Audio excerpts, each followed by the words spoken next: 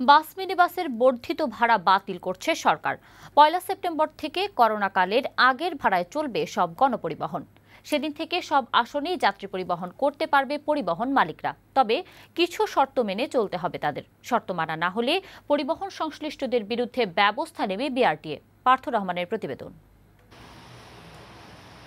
দেশে করোনা প্রাদুর্ভাব শুরুর পর গেল মার্চ মাস থেকেই বন্ধ হয়ে যায় সব ধরনের গণপরিবহন। তবে গত পহেলা জুন থেকে সীমিত আকারে গণপরিবহন চালু হলে মোট আসন সংখ্যার অর্ধেক যাত্রী নেয়ার অনুমতি দেয় সরকার। আর সেজন্য ভাড়া বাড়ানো হয় ষাট ভাগ। তবে যানবাহন জীবাণুমুক্ত করার ও যাত্রীদের স্বাস্থ্যবিধি মেনে চলার নির্দেশনা দেওয়া হয়। এর তিন মাস পর গণপরিবহন মালিকদের দাবি বিবেচনা করে এবার করোনা পূর্বের ভাড়ায় ফিরে যাওয়ার সিদ্ধান্ত নিল সরকার। বিআরটিএ ও বিআরটিসির কর্মকর্তাদের সাথে ভার্চুয়াল বৈঠকে অংশ নিয়ে পহেলা সেপ্টেম্বর থেকে এই সিদ্ধান্ত কার্যকর হবে বলে জানান সড়ক পরিবহন ও সেতুমন্ত্রী ওবায়দুল কাদের।